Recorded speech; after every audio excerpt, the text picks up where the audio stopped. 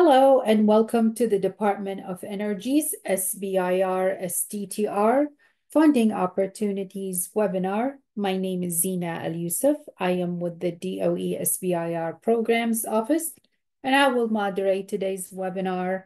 Uh, today's presenters are um, SBIR Outreach uh, Manager Eileen Chant.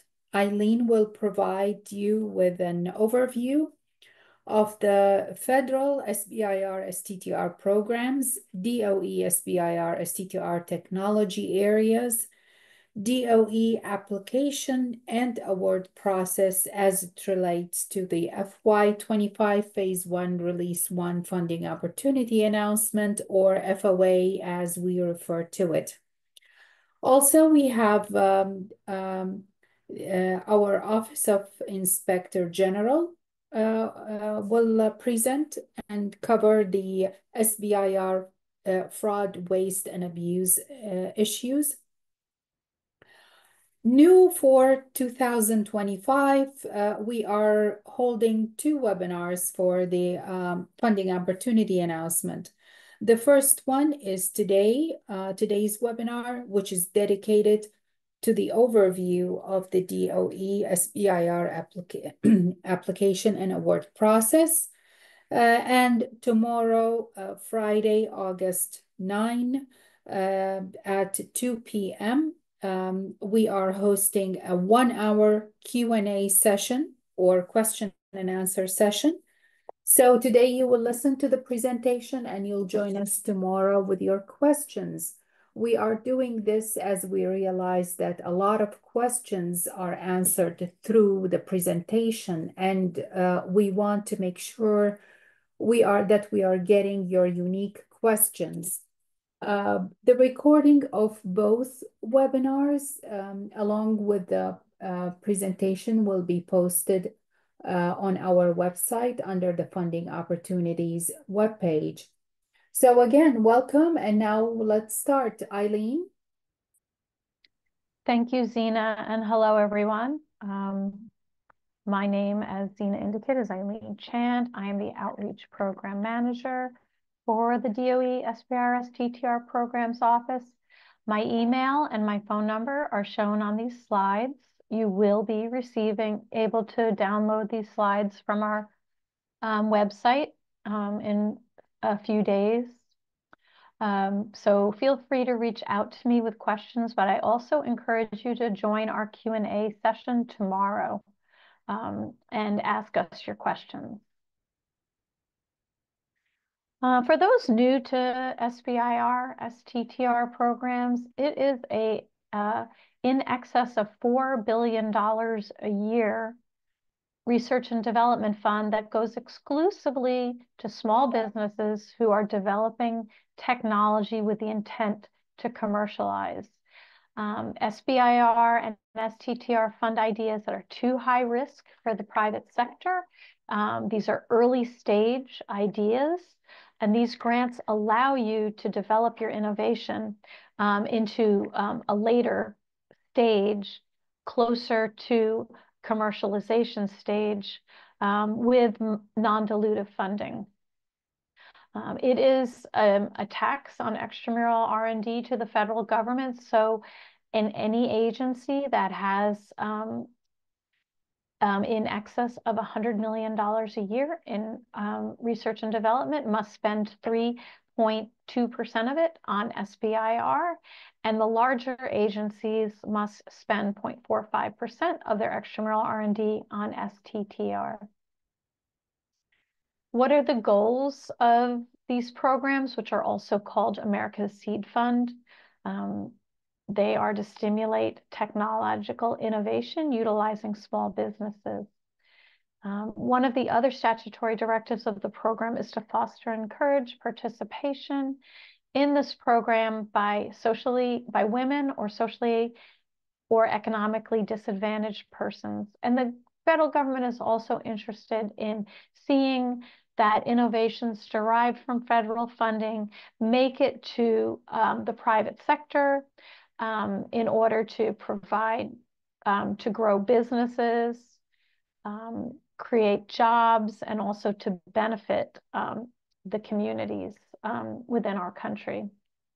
The STTR program is a little bit different. Um, it does require cooperative research and development between a small business and a research institution. These are the 11 agencies that have SBIR programs. You can see these are the fiscal year 22 budgets, and you can see that DOE is the third largest agency. But there are um, all of these agencies offering these non-dilutive grants and contracts. And um, there's a lot of overlap in what the agencies fund. So you really should get to know all of the agencies and pick a couple that are um, interested in your technology. Um, don't put all your eggs in one basket and um, really probably want to identify a couple of agencies which um, hold the potential to fund your um, technology development work. One thing about the agencies is they are not all the same. Um, some issue grants and some issue contracts. Um, the difference between those two is important. The contracting agencies are potentially going to be your customer at the end of the day. For example, the Department of Defense, they may, if they're interested in your technology, they may be your customer after your technology is developed. The Department of Energy is a granting agency, and we are unlikely to be your customer at the end of the day. So when you are developing your technology, um, it will obviously be something that is within DOE's mission scope, but you do have to have a private sector or commercialization plan and to understand where your market um, would, where your customers are going to come from um, once the SBIR funding has uh, run its course. You can go to SBIR.gov, the awards page, to understand what agencies are there, what, what the different agencies are funding and where you might be a fit. The DOE's mission is threefold. Um, people don't always know that in addition to um, development of clean um, and renewable energy technologies, that our mission also includes advancing um, engineering and energy sciences. And finally, the DOE is also um, tasked with nuclear security. So a few more specifics about our organization that I hadn't already mentioned. We issue grants, as I said before. You present us with your idea in response to our focus topics. And um, it is your idea to, if we award you a grant, um, we like your idea. It looks like a well planned out novel idea. And, uh, but it is your technology to develop and to take to the marketplace at the end of the day. Again, we have focus topics. They are more wide ranging than most people would expect. So don't think that you know what we fund until you have delved into our topics document.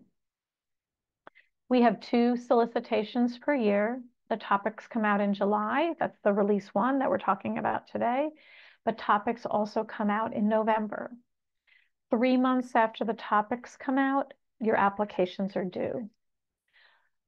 Another unique thing about our program is that a letter of intent is required, um, and that is going to be um, later this month. You have to provide us with a short write-up on what it is that you're going to propose.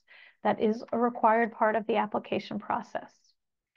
And finally, for those of you who have never submitted an application to DOE, SBIR, STTR programs before, please take note that we have an application assistance program. It's we call it Phase Zero. It is free to you and it is available to first timers. It is open now for this release. You receive a coach and they will help you put together your first application.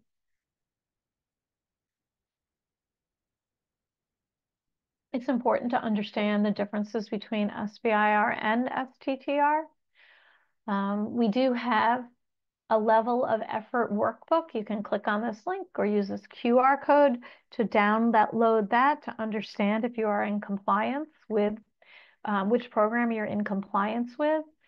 SBIR does allow you to have a part a nonprofit research institution partner, but STTR requires it. The principal investigator must be majority employed by the small business for SBIR. And um, for STTR, the PI can be an employee of either the small business or the nonprofit research institution.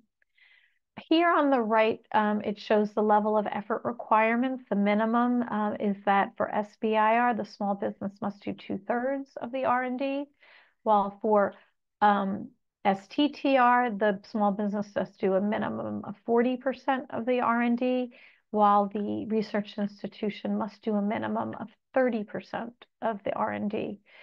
The green is available to uh, subcontractors as needed, or um, the small business, or the research institution can also consume those parts of the R&D effort. The award always goes to the small business. Any subcontractors are um, always being paid by the small business.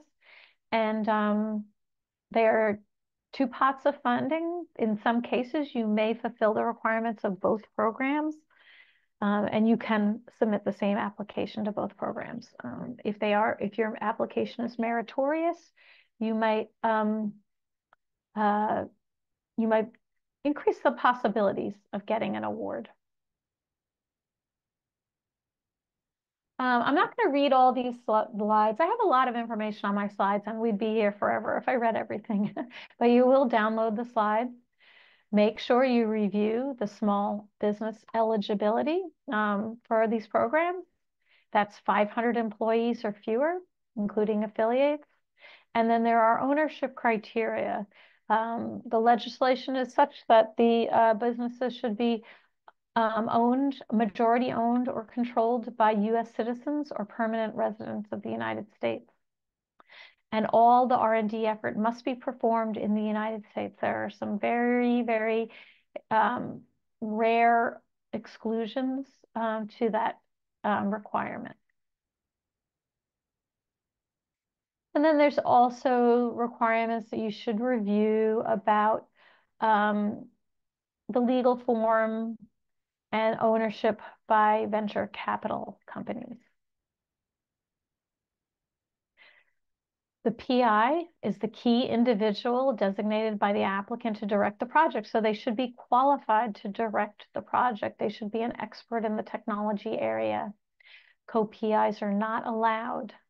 You must identify um, the PI at the na by name at the application. Um, and they do not need to be employed. They need do not need to fulfill the employment requirements that I just discussed until the project starts. So that's helpful if you're considering forming a small business contingent upon receiving your SBIR award. Um, you can change the PI after award selection. It's not ideal. It can be done. And um, the PI should plan to devote three hours a week as a minimum to the project. Here's some rules. What does primary employment mean? Um, and then with STTR, the PI's primary employment can be either the small business or the research institution. Okay, so this program is for early stage research and development funding. It has to be innovative, novel. The award process is, is very competitive. So the high quality um, applications that are aligned with the topics they are applying for are going to be the ones that are funded. Uh, we do receive more meritorious applications than funding. So only the, so the highest quality applications are the ones that receive funding. Um, it's great to receive an award. Um, later on down the road, you're going to want to be approaching investors or partners. And if you have received an award, it provides credibility about the you know, the technology um, that you're developing, that it has um, a sound scientific basis. And um, that it's novel as well too, because those are the important criteria um, in terms of receiving an award. And this is this is great funding for startups, so you don't have to pay it back. Um, whether the research goes really well or the research goes poorly, you do not have to pay it back. We don't take any of your company equity. No cost sharing is required as well.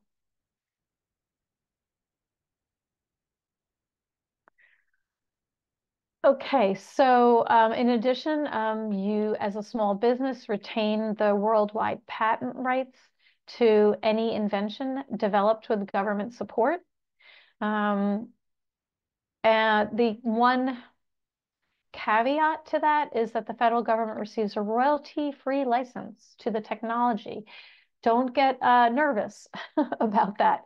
Um, those are called march-in rights, and they have, in fact, in the 40-year history of the SBIR program, never been executed. Um, there have been some cases that have been brought to court where uh, the royalty-free license has been requested by another organization, such as a Medicaid, you know, some kind of medication that has been developed and um, should be offered to the public more uh, at a at a lower price. Um, but those claims have never been um, supported, and so in fact, this caveat has never been um, executed.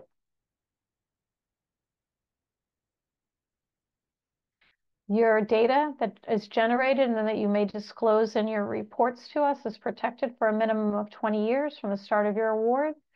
Um, and I already talked about the license. Okay. Um, so as far as the program offices uh, are concerned, we're talking about this release, release one. And um, there are six offices that issue topics. And um, these offices are shown here. You can tell by the names of these topics that um, they're kind of, I would say, deep sciency in nature, or rather these offices that they're kind of deep sciency in nature. And that is the case. They are looking for more deep science, instrumentation, advanced scientific computing, imaging, um, and more. On November 12th, you should mark your calendar. We have seven other offices that will be issuing topics. Those are our more applied offices. So take note that you're going to want to look at those topics as well on November 12th. This is what our grants look like. Um, phase one, um, you have to be responsive to our topics. Our topics are out. Hopefully you all have looked at our topics and hopefully you've attended the topic webinar or listened to the recording. Um, we do provide you with feedback on your letter of intent. The program managers will let you know in the event that your letter of intent is considered not to be responsive to the topic. Please, important to note that you can still submit your phase one application. You may want to adjust your approach based on the feedback you received. If your letter of intent is considered responsive, you will not hear anything from our office, so no news is good news in this sense. Um, there's the size of the awards. There's uh, the maximum size is topic dependent. Um, and we issue about 350 awards per year. If your phase one work goes well, nine and a half months in, you're going to want to submit your application to phase two, which is more focused on prototyping and demonstrating your technology. It's a larger grant and you carry out your phase two study over typically a two years. We do award second and third phase two awards as shown on this graph. Um, if you require additional R&D to transition to commercialization, you can apply for these follow-on phase two awards.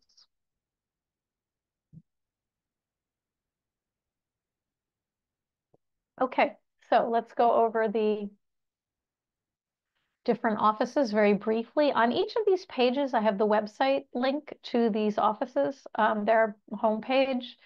You should go review the offices. Um, you should uh, review their mission, see what's going on, what kind of conferences, think about attending some of those conferences. Um, so here are the topics that are published now for from the Advanced Scientific Computing Research Office. We call it ASCR and they have a topic on high performance computing.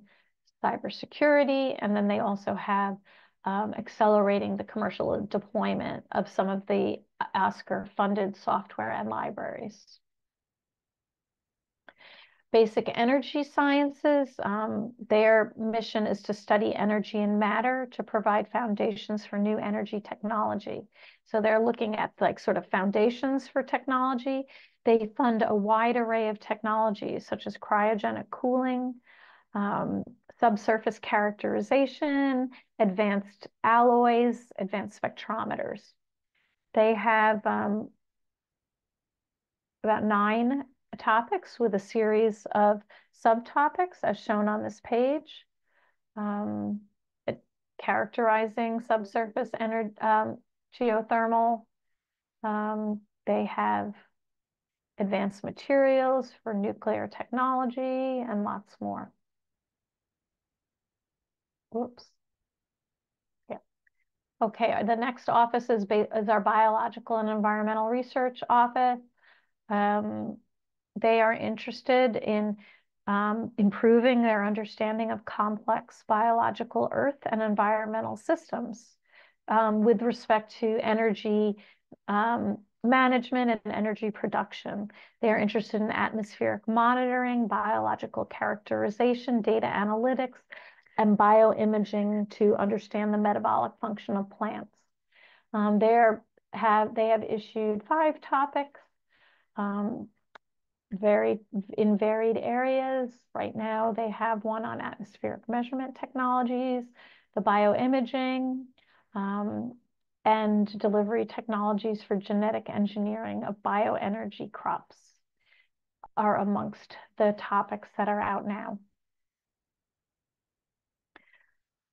Okay, the fourth office that has issued topics is fusion energy. Um, they are they are um, tasked with advancing and eventually realizing the enormous potential of fusion energy. They are interested in additive manufacturing, lasers, plasmas, and superconducting magnets.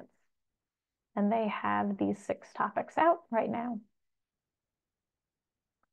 High energy physics um, is um, an office that develops new accelerator technology, detectors, and computational tools to enable the science of understanding matter and energy. Here is the table of contents that shows the topics that they have released. And then finally, uh, nuclear physics is um, tasked with understanding the building blocks of matter and nuclei. Um, they have a lot of interests around developing instrumentation, software for instrumentation, and data management. So in uh, about the offices, just I as I, I recommend you go to the websites, review the mission, understand their funding priorities and funding opportunity announcements, um, you know, and what's going on in general in the office. And they generally have contact information as well, although our topics have contact information as well too. So that's a good place to start. Okay, just a reminder that we have, um, yeah, this is November 6th. I think I'm going to correct this. Um, I have, I just want to correct that because it's not correct. Um, Oh no. Let me go to my right side here.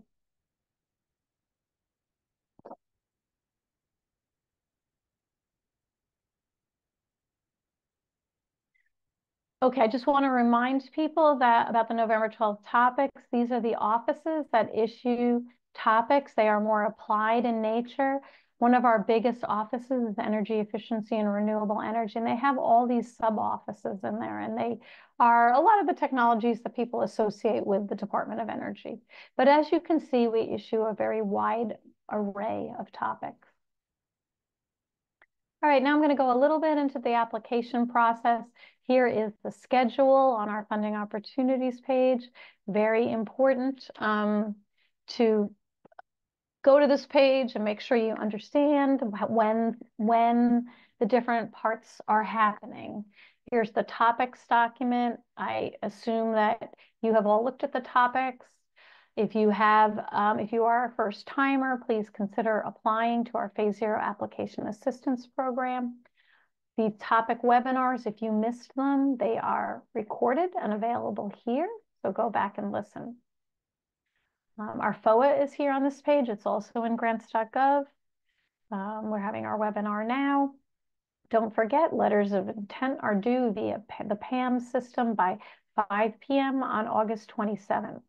It is required as part of the application process. You cannot apply unless you have submitted a letter of intent. Full applications are due on October 8th, and um, award notification is scheduled currently for January 6th, and the grant start date would be on around February 18th of next year. Topics document, again, we use focus topics. The topics are out. Note that you open communication is permitted with the DOE program managers. You may reach out to them, but make sure that your the subject of your email is understanding the scope of the topic and whether what you're proposing is a good fit. It is not the place to sell your technology. Your application is the place to do that. Um, this is what a topic looks like. Please make note of the maximum phase one award amount. Do not ask for more than that money um, for your R&D effort. Make sure, check to see, are they accepting SBIR and are they accepting STTR application? Um, read the topic very carefully. Um, you have to pick a topic and you have to pick a subtopic pair. And there's a point of contact at the bottom of every subcontact. Make sure you're familiar with all the references. You are expected to be highly knowledgeable in your technology area. What are the latest developments? What are the competing technologies? And you definitely want to be knowledgeable about the references that are cited in the topics document. Funding opportunity announcement is out, um, has a lot of information. You do need to read the FOA in order to avoid making application mistakes. So spend some time um, in review of the funding opportunity announcement. Okay, a little bit more about the application process. Um, you have to register on some systems, unfortunately. Um, the application must be submitted through grants.gov. But to get your registration on grants.gov, um, first of all, you should go ahead and register on PAMS. Um, that takes five minutes. You should do it now, today, tomorrow. Um, your LOI must be submitted through PAMS. Then you need to go and work on your SAM registration. And the SAM registration can take eight weeks.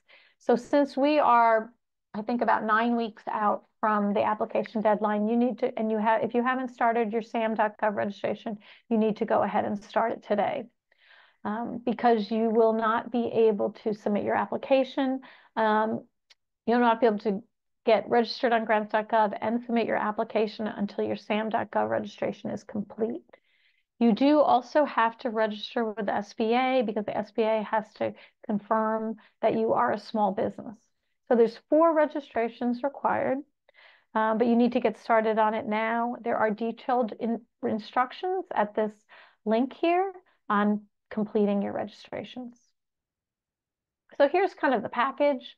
Um, you need the topics document, you need the FOA, and you need our application guide, um, which is an online resource, pretty new. Um, here is a slide on the letter of intent with your instructions and the content that it must um, contain. Make sure that you're very clear in your abstract on what it is you're going to do um, so that uh, the LOIs are used by us to understand what applications are going to be coming in and we set up our we set up our technical review process in advance so that when the applications come in we can kind of hit the ground running in terms of reviewing and providing um, selections within 90 days which is um, which is our schedule. So make sure that you're very clear on what it is that you're going to do so that the program manager can understand um, um, what it is that you're proposing and can assign the appropriate technical reviewers. If you do receive an unresponsive email on your letters of intent, please note that it does not preclude you from submitting a phase one application. You should sit down and digest the review information and decide um, on a path forward with your team. It's required. Um, here's the LOI instruction link, and we have a sample LOI too um, on our pay on that link and here in the document as well. Um, okay, so you do have to complete your application and submit it on grants.gov. You can work on it online or you can download the application package, complete it offline, and upload it again. Here are some links to get you started on grants.gov. We do have a checklist. It's in our, um, it's in here in the link here, um, the checklist. You can view the checklist. So here you are. Here are all the things that have to be included in your application. It's a lot. Um, um, so get you do want to get organized and get started. Um, but this checklist will allow you to ensure that you are not missing any critical parts of your application.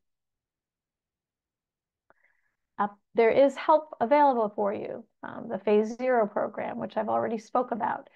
This is our application resource team. You can email them at any time to ask questions about the application process. They will get back to you. If for any reason you don't hear back from them, you can always email me and I can ping them for you. You should be on our mailing list. It's the most important way to stay up to date on what's going on. You'll receive information about other funding opportunities and you'll get invited to webinars. This webinar is recorded and the topic webinars are recorded. And finally, very importantly, we are doing seven, not including tomorrow's webinar, we're going to do seven Ask Us Anything Q&A webinars during the application process. First one will be on August 21st. You can you will be invited um, to the first two, and then if you submit your letter of intent, you will be invited to the, the subsequent five um, Q&A sessions, and you can hop on a call and ask us your application questions. Um, just a quick slide on the Phase Zero program. You will receive a coach. The Apply portal for this release is open now. You will have someone you can talk to, someone who can help you with your letter of intent, someone that will help you with your system registrations, your proposal preparation. They will provide you with feedback on your project narrative. Most of the coaches are scientists or engineers, so they're going to be able to review not for the you know detailed technical knowledge, but to make sure that your application reads well because you really want your application to read easily, to flow, to have it be a story about what it is you're going to do that even someone who's not a technical expert in your field can understand. They will help you fill out your financial forms, your budget, calculate your indirect rate, and a lot of good stuff in here. We have a new, it's not that new, it's about a year and a half old, um, application guide. Um, it's a content management system, highly searchable. It has lots of detailed instructions. It has a planner, help you get organized, um, and sample all the samples that we have, um, and blank forms that we have um, are on this page. So make good use of it and feel free to give me feedback on it. And since it's, you know, only a year old, I'm always interested in hearing how it can be made better.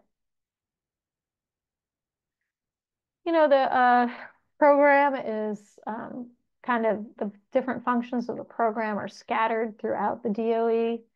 Um, the um, program offices, they are the scientific um, experts in their technology area. They develop the topics, they pick the reviewers, and they recommend the awardees, and they also oversee your project.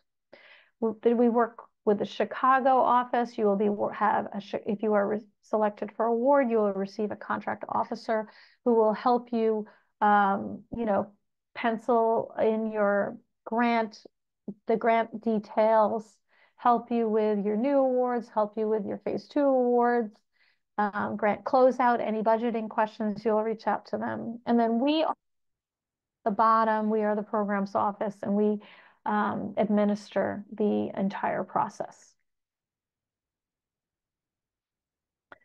What makes a competitive application? Well, the first uh, most important criteria and the basis for developing a strong application is that you need to be responsive to the topic and subtopic pair. Um, your idea must be novel. Your, you must have a solid work plan. Um, make sure you're going to have feasibility objectives in your phase one project. Make sure your work plan is linked strongly to your feasibility objectives.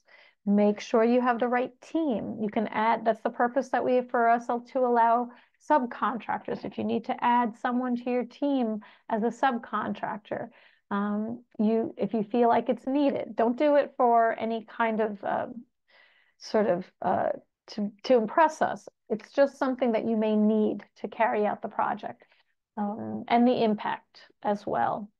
We do have a, a new um, application review criteria, which is a short um, diversity and equity inclusion plan um, that you do need to include as an appendix to your project narrative, and we call it the PIER plan.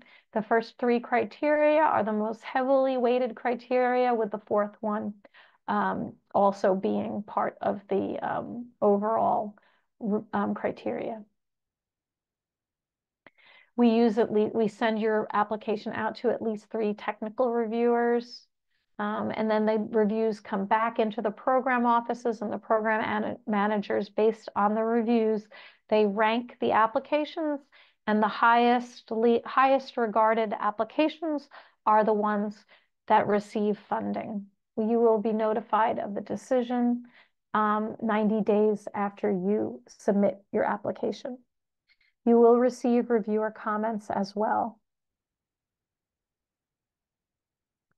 Here is the timeline for the purposes of time. I won't go into it um, too, in too much detail, but your applications are due here at month zero. Um, your award notification is within 90 days. And then there's a period of time where you're negotiating with the contracts office on your grant. Uh, and so that is why your budget, your, your project will start um, more like four, four and a half months after you submit your application, which is it's what you can approximately expect. There is a data management plan. Um, and um, I am going to um, change slides for a second. So I'm going to stop sharing my screen for a second because I think I need to open a different presentation. Sorry for the delay here, but it'll be worth it.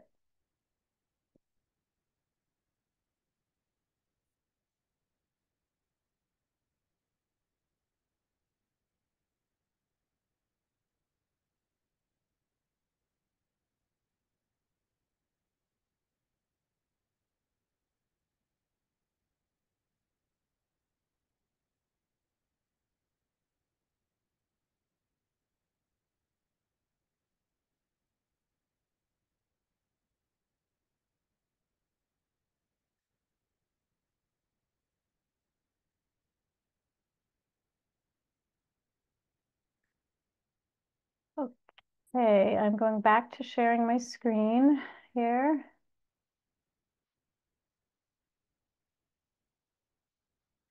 This is my slightly updated presentation, so I wanted to go with that. Okay, we have a data management plan that is required. There are two options here. Um, if you do you do have the option of not, e not including a data management plan, even though we say it's required. Um, we will assume option one, which is that your data is protected. But if you do plan to publicly disclose your data, which you may want to do to sell what it is that you're doing and get people excited about your technology, you do need to um, include that in your application. So um, we have, um, since 20 fiscal year 2023, required that applicants disclose their foreign re relationships. So please download the latest form and complete that. And you do need to sign it. Um, and even if you have no foreign relationships, you must check no to everything and sign it as well. But again, I'm emphasizing that you should please utilize the latest form by clicking on the links shown here. Additionally, we require biosketches and current and pending support information. Um, we strongly recommend that you use a SciENcv format that's approved by the National Science Foundation. And I have provided the links here, which provide instructions on preparing your biosketches and your current and pending, pending support. I have a few slides on the PIER plan. It's a year, um, we've been requiring it since fiscal year 2024. Um, it is part of the technical merit review criteria, um, and it should um, should be a plan um, to promote equity and inclusion as part of the research and your research and development project. Um, you can include um, some plans to recruit individuals from diverse backgrounds um, and groups historically underrepresented in the research community to work on the project. Um, you can develop um, approaches and methods to create a research and development environment that fosters a safe, positive, inclusive workplace and a sense of belonging. Um, you can support the people within your company, um, underrepresented staff, by providing them with training, mentoring, and partnering. Um, or you can work with underrepresented communities as well too. Um, it's really about leveraging, um, about moving the needle and doing something a little bit new and different within your organization on this front. I do have um, provide some resources, PIER plan development, such as what kinds of things you can focus on. And just as a final note, um, the phase one award is very limited. We understand that.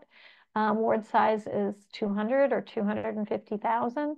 It is expected that you really will submit a one-page PIER plan, pick a simple and focused activity that's relevant to the scope of the award. Um, don't try to do like a million things. Try to pick something, one thing that you can do, do well, and will also um, be part of your R&D project. We're always looking for genuine and new ideas as well.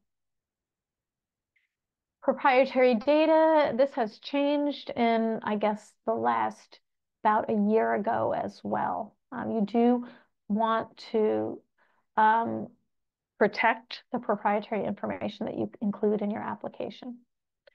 Um, and I have some instructions here on the title page of the document. You do need to um, include this legend, including inserting page numbers that do not contain restricted information. And then um, you have a legend for each page of the proposal that contains information.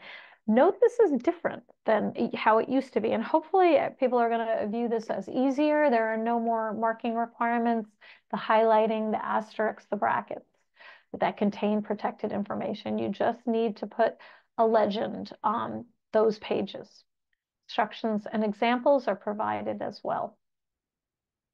A few things, um, a few notes about the application errors that we see.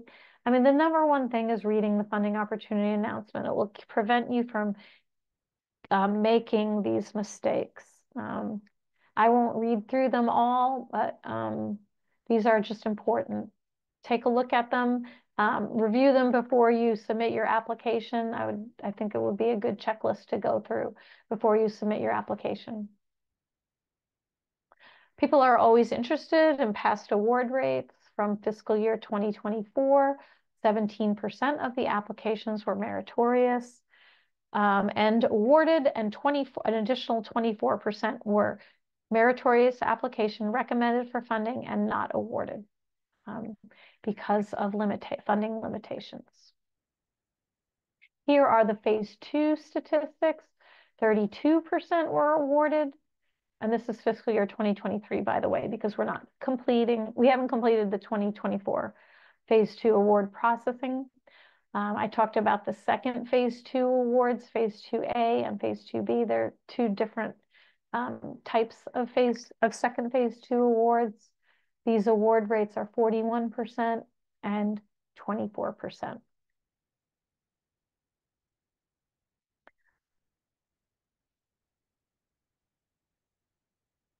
Okay, a little bit about, um, I'm going to go kind of quickly through um, these applicant and award um, resources, but if you are an awardee, there will be a phase one principal investigator meeting two days in the DC area.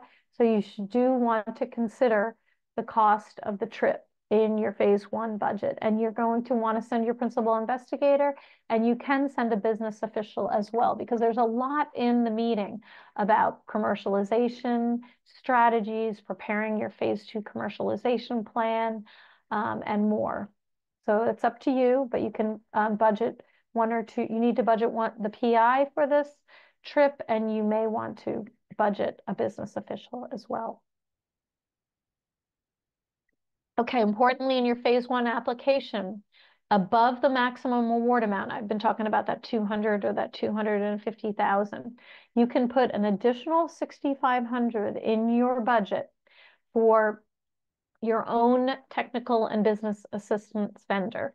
Um, TABA is a series of um, different services you can pay an external contractor for to help you develop your phase one, phase two commercialization plan. That's really what the phase one tab of money is for. Um, what is your business strategy? What is the market landscape? Intellectual property landscape, pricing, developing a pitch deck, who your customers are. Um, you can spend money on those kinds of things. You can also do nothing in your phase one application. If you receive an award, you will be able to utilize our DOE vendor. Um, their name is Larta, and you will get $6,500 in services from them um, automatically. The, the, the cool thing about the TABA program is if you receive a phase two award, you can spend up to $50,000 on commercialization activities. If you become a phase one awardee, you are eligible to our phase for our phase shift program, formerly known as Energy I-Corps. It is an intensive customer discovery process, very valuable um, for you to understand your market, um, who your potential customers are. just a slide on the importance of making sure that you are not only addressing the R&D and the technology development work, but you are thinking about commercializing your technology. It is never too early to start thinking about who your customers are going to be. We have a very great partnering site. Um, that we launched about a year a year ago or something like that. And I do think that everybody, whether you're an applicant or awardee, or even if you're not an applicant, you should register as an innovator if you're an innovator or a partner if you're a partner. Um, it is an ecosystem um, which is designed to allow you to meet the potential partners, the potential customers, the potential venture capital capital organizations that you're going to want to know in the future. So go to the partnering site, check it out, register. Um, there's some other resources on this slide as well um, about working with the national labs.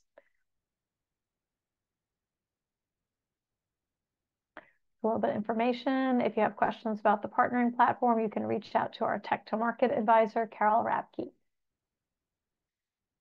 Okay, with that said, I am going to introduce um, Sarah Hinderer, who is a special agent with the Office of Inspector, the Office of Inspector General. She's going to talk a little bit about fraud, waste, and abuse. And Sarah, just go ahead and tell me when to go to the next slide. I will be driving. Okay, sounds good. Again, I'm a Special Agent Sarah Hinderer. I'm with uh, the Office of the Inspector General, and what we deal with is fraud, waste, and abuse. You can go to the next slide. So there are some different elements when it comes to fraud. So we work uh, criminal and civil investigations, and so some of the things that we look for um, when we're looking at the proposal um, that that awardees submit, uh, anything that happens during the award, and then any closeout documents is that we're looking to see if there was any plagiarism with the proposal, if there were any false information that was given in the proposal information, um, especially concerning the PI, um, any fraudulent documents that may um, been provided to DOE um, as part of the the um, the proposal period. And then during the award, we're also going to be looking at, again, were the funds used correctly? Were the funds used in a way that's allowable to DOE? And I always stress to people, if you're not sure if something's allowable, please reach out to DOE so that they can tell you if it's an allowable cost. Um, and also, if you um, are responsible for submitting any kind of uh, reports during the course of the award, if those are plagiarized or there's any false statements or claims that have been made, um, that's considered fraud. Um, and then also, if you're claiming your results from another award, um, a different source, that's also considered fraud as well. If you want to go to the next slide.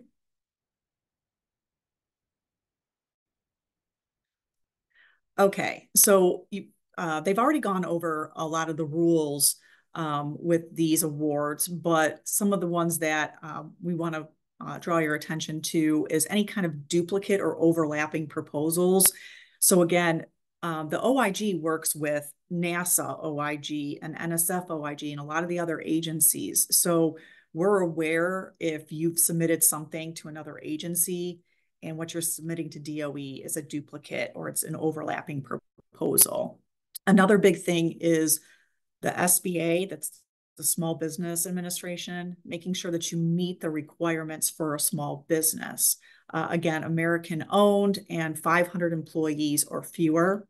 Uh, for SBIRs, your PI's primary employment must be uh, with the company during that time period um, and they cannot be a full-time employee anywhere else. Um, and then also for the phase one, uh, two thirds of the research effort must be performed by your business. Uh, for phase two, it's going to be one half.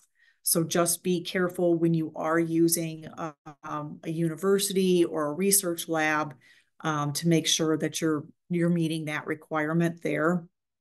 Um, and then um, University employees participating in an SBIR award should disclose their involvement to the university um, to make sure, because again, we do talk with universities and we do go to them to get information um, if we suspect that there is fraud. So make sure that universities are being um, informed and also your research and development that has to be performed in the United States. Next slide. What happens if you break the rules? Um, so um, if you commit fraud or any kind of wrongdoing, we can investigate. And again, we're talking criminal violations and civil. And keep in mind that criminal violations can result in prison time, um, and civil uh, violations can result in a monetary uh, penalty for you and your business. We work with the Department of Justice um, to prosecute these cases. And again, we also do coordinate um, if you are getting research dollars with other agencies.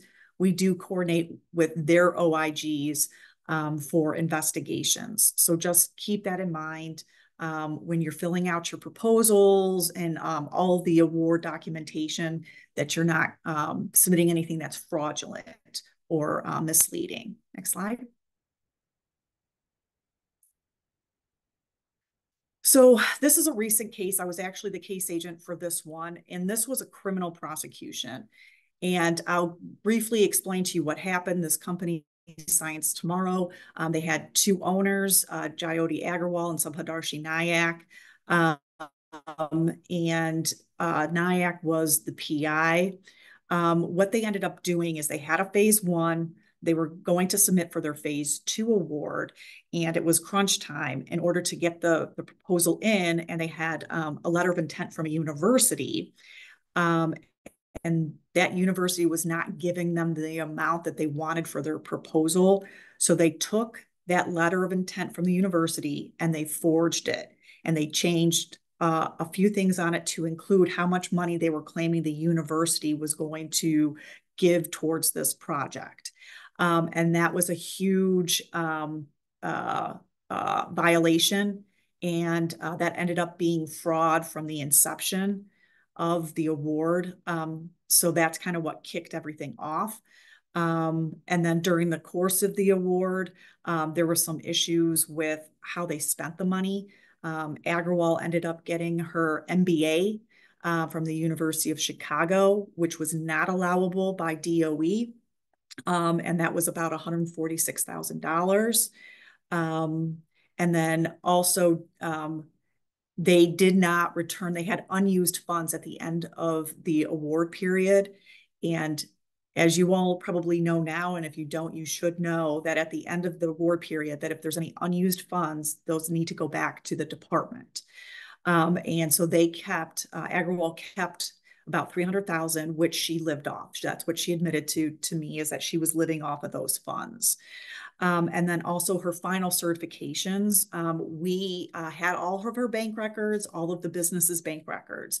And we could tell that for some of the subcontractors, one, she didn't pay the research institution that she claimed that she was using for either the phase one or the phase two.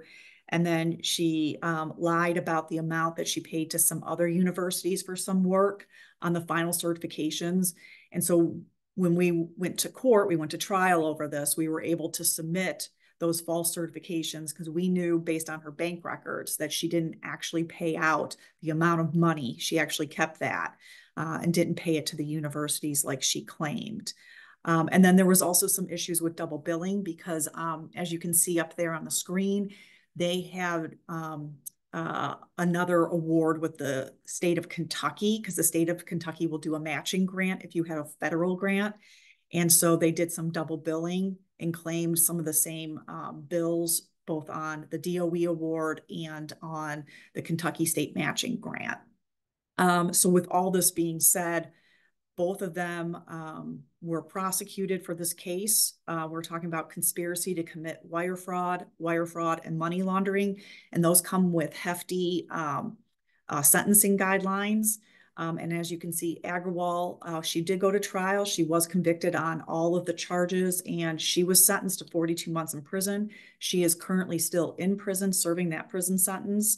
Um, Nayak was able to work out a plea agreement with the Department of Justice um, and so he did six months in prison and six months home confinement. But another big thing to think about is they now owe restitution to the Department of Energy and to the Kentucky State uh, for the matching grant. And uh, we were able to go after them for, for the full amount of the award. So they received um, between the phase one and the phase two, a little over a million dollars which they have to pay back to the government. And then they also have to pay back the 500,000 to the state of Kentucky. And Nayak also had um, EPA awards, and we worked with EPA OIG because he also committed uh, fraud with those awards too. And it was a joint investigation between um, uh, DOE OIG and EPA OIG. So just keep that in mind. We do work with other agencies to make sure that all the awards that you receive from the government um, are being done properly. Um, but this is just a cautionary tale of what can happen if you do commit fraud. So again, forged documents, that is a big no-no. Um, make sure that any expenses um, that you're going to use the money for, that it's allowable by DOE and don't lie on any of your final certifications or any reports or anything that goes to the department. Any of those false statements, those are those are criminal violations. Um, so just keep that in mind. Um, next slide. And so if you are aware, whether it's um, something that's going on with your organization or another organization, but if you are aware of any kind of fraud, waste, abuse, um, this is the contact information. We have a hotline set up. Um, you can do it anonymously, um, or you can provide your con contact information and you can report um, any kind of fraud, waste, or abuse uh, to the Office of the Inspector General. And that, I think, is it for me. Yes, thank you, Sarah. Welcome. All right, just a few reminders before we wrap up. Um, please do not forget that we have a number of applicant resources for you, a new guide. We have our application assistance program. Check out the links on our website. Um, and uh, of course, the Phase Zero program is free to you and um, if you are a first time applicant. These um, are, we have a number of awardee resources as well too. If you receive, it's, our program is not just about your phase one, your phase two award. We provide a fair amount of support in the commercialization resources area between our um, phase shift program, the TABA funds, and a bunch of partnering, really good partnering initiatives that we have going on. Um, and be aware that you also can apply for um, computing time as well as an awardee. Um, we will give you time on our uh, high performance uh, computing uh, system. So thank you for your time. Get yourself organized. There's unfortunately a fair amount of work. There's a planner here on this link of what you should be kind of getting done each week. Um, and we have I have emails here where you can reach out to with questions. And we do have a, a, a lot of success stories which contain a, a good wealth of information and advice uh, to startups. So thank you for your time. It's three o'clock right on time, and I'm going to hand it back to you, Zena. Thank you, Eileen, and thank you, Sarah, for uh, presenting today. Um, uh, so there, uh, we we are not taking questions uh, um, today. Join us tomorrow for the uh, FOA question and answer webinar. The registration link is on our website under the funding opportunities uh, webpage. So uh, uh, the recording uh, for today and tomorrow will be posted on our website under the funding opportunities webpage. Uh, with the thank you for attending and this concludes today's webinar.